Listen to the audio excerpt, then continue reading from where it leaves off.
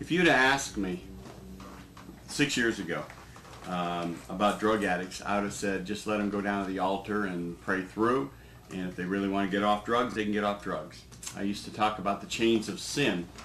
And uh, after seeing what I have seen now, uh, I didn't have a clue as to what the chains of sin were. Uh, I, I now know what real chains are. Drug and alcohol gets a hold of somebody and psych, sucks the very life right out of them. And uh, if you were to ask me about feeding the homeless five, six years ago, I would have probably said let them starve because uh, if they're too lazy to work, why should they eat? But I've had an attitude adjustment on that also. About uh, four and a half years ago, uh, as a church here, we uh, were looking at a house across the street to purchase, and uh, we ended up buying it and putting four women in it, thinking we'd do a, a house for women. We learned at first the hard way all the mistakes you can make. And uh, but something about that, after a while, we started getting some women that uh, that were really turning their life around, and it, it lit a fire under our church. It it made our church people just really realize there's there's more to having church than having church and playing church and and showing up. There's lives out there that that need God and they, they need to have their lives changed around. And so we bought the other house on the other side of the church about uh, six months later and put eight men in it. And then about a, year later, we ended up buying just about the whole city block, not too far from the church. And uh, now we have uh, close to 100 men and women uh, in our program. Plus we have a mission out on Nebraska Avenue where we feed about 50 to 100 a day. Um, I looked at different programs and, and, what can be done for drug and alcohol. And uh, I grew up in church. Uh, I don't have a drug background. I, I smoked a half a cigarette when I was 14. And uh, when my mom finds out, she'll still whip me.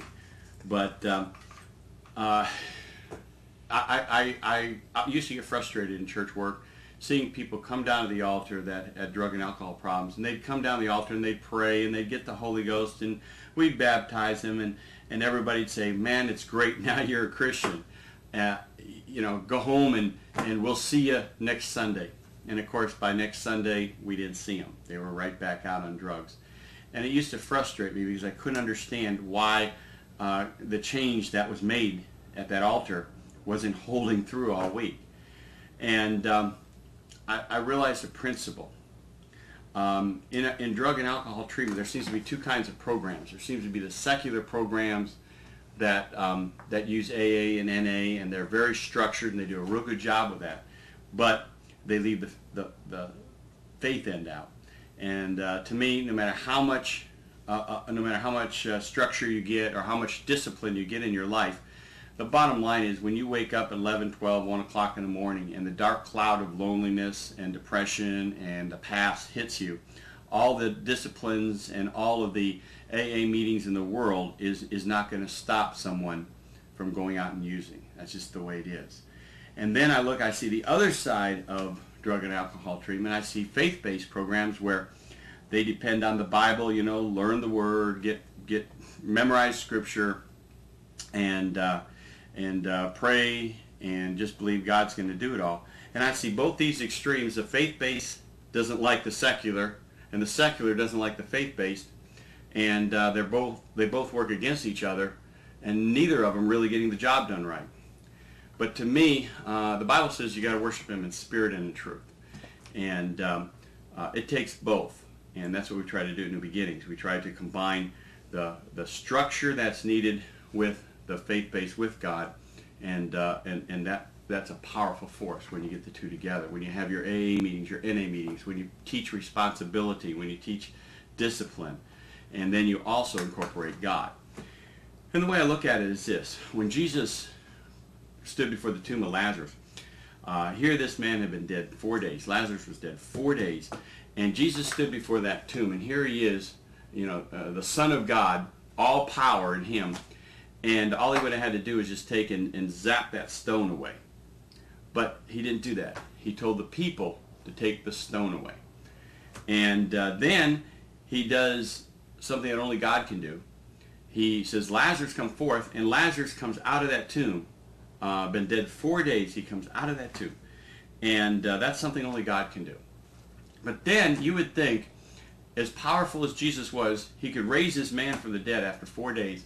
That all he would have to do is go zzz, or and, and there Lazarus would uh, all of a sudden shed all his grave clothes uh, off, and uh, the stink that was there for four days would all be gone, and he'd be in a nice three-piece suit. And it didn't work that way. What what Jesus said was when Lazarus came out of the tomb, he was bound head head to toe with grave clothes. He was just bound, just leaping out, barely making it out of that tomb. And Jesus told the people, loose him and let him go. And I think that's where the church is let down. We have we have let God do what he does best. Only God can can make an, a new creature. Only God can take someone who comes down to the altar and make their life new again. Only he can take what was dead and resurrect. Uh, you can only be born again through God. All the, all the all the preaching, all the singing, all the stuff we do as a church cannot do what only God can do. He has to raise the dead.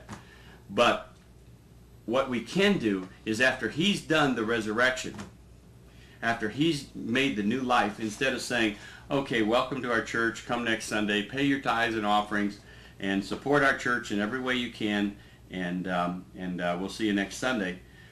What we find the church has to do is even though they get up from that altar, even though they, they, they get through repentance, uh, a changed person and newness of life, just as Lazarus came out of that tomb, stinky and bound head to toe with grave clothes, these people get off from that altar. They, they come up and they are still having all the anger and the um, depression and the, the habits, the, the sin habits in their life that they had before they came down to the altar.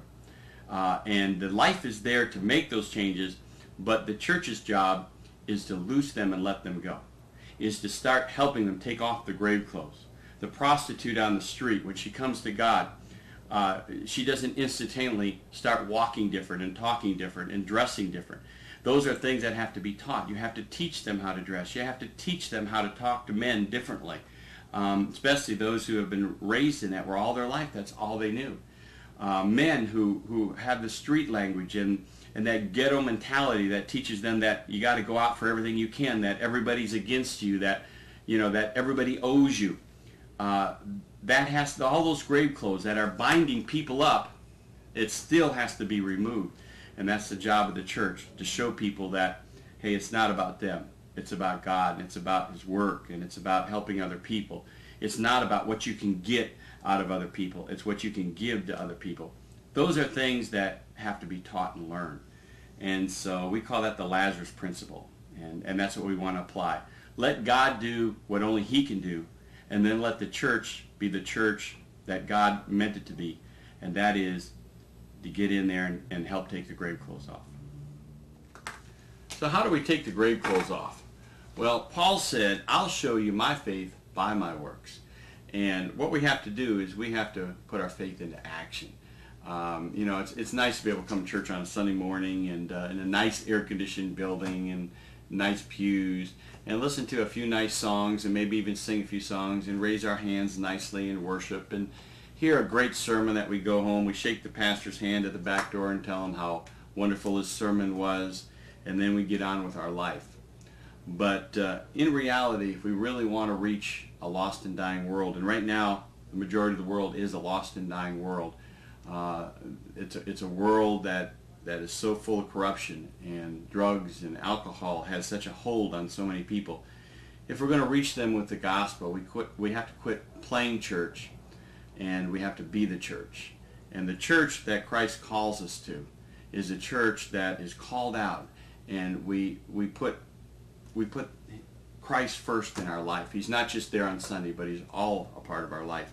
And uh, the way we try to do that around here at uh, New Life Pentecostal Church of God is, uh, well, this last Sunday is an example. Uh, by 6.30 in the morning, we're getting the food ready to go out and feed uh, the homeless. We're, uh, we're packing the bus up, and the bus is, is out there on the street trying to find people that want to come to church. And we bring usually 20, 30 people in from the street, and we, we, we give them showers fresh clothes, underwear. That might not seem like such an important thing to some of us, but uh, having clean underwear after you've been wearing the same underwear for a few weeks or a month is kind of important. Clean socks. And uh, then we bring them to church and we, we give them the gospel. And uh, a lot of times with street people, if you just feed them and put them back on the street, all you're doing is perpetuating their homelessness. Uh, what you need to do is you need to make them see that there is a better way. You have to give them hope. And sometimes cleaning them up and getting them a change of clothes and everything, that really works. But uh, we have a mission out on Nebraska where we house about 28 men and uh, 8 women in a, in a mission, and we try to reach them there with the gospel. We try to show them the love of God. Uh, to a lot of prostitutes on the street, the reality of it is, if you were to tell them Jesus loves you, they're going to ask you how much will how much will he pay. They have no concept of what love means. And, and, and you can't just say Jesus loves you. You can't just tell them they need to be saved. You can't tell them they need to go to heaven and not hell because they're already living in a hell. What you have to do is you have to, you have to show them the love of God. You have to be an example to them. You have to show them love, not by your words, because they've gotten plenty of words. Uh, most of them out there have had boyfriends that have said, I love you, as they're taking a ball bat to their head uh, or, or feeding them drugs and getting them hooked on, on things. Um, you need to show them the love. You need to give them a meal. You need to give them clean clothes. And uh, when you bring them to church, uh, you need to show them love. You need to let people, not just the preacher, not just the, the one up front, but the people need to show them that they care. And that's really, I believe, how we're going to reach a lost and dying world is not with words, not with fancy singing, not with special church programs, not with, with great charismatic speakers and preachers. That builds numbers and it makes everybody feel good that they're having church. But in reality, the only real church we have is when people's lives are changed and they and they're and they're set free from these addictions and their lives are turned around. That is really what church is really all about.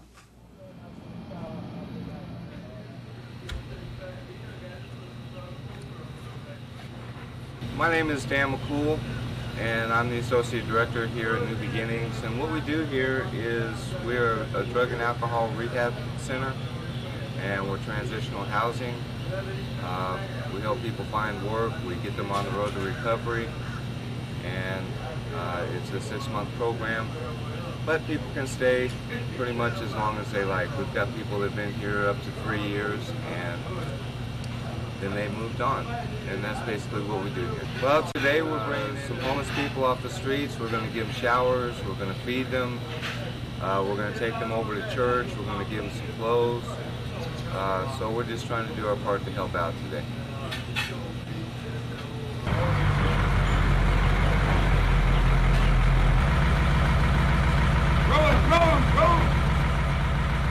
Good morning, Robert.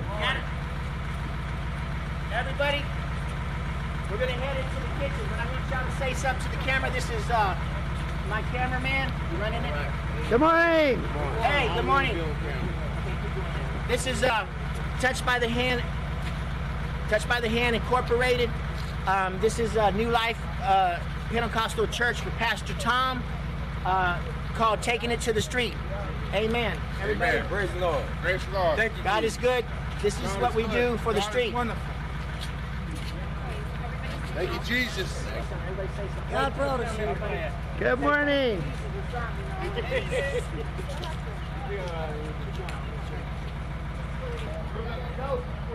Ruben. Thanks for having me, buddy. Let's get out of here. How you doing? Good morning. Everybody's doing fine. Ruben doing a good job. I'm glad he out here with us, helping us, and trying to show us the right way to go. What do you want me to say?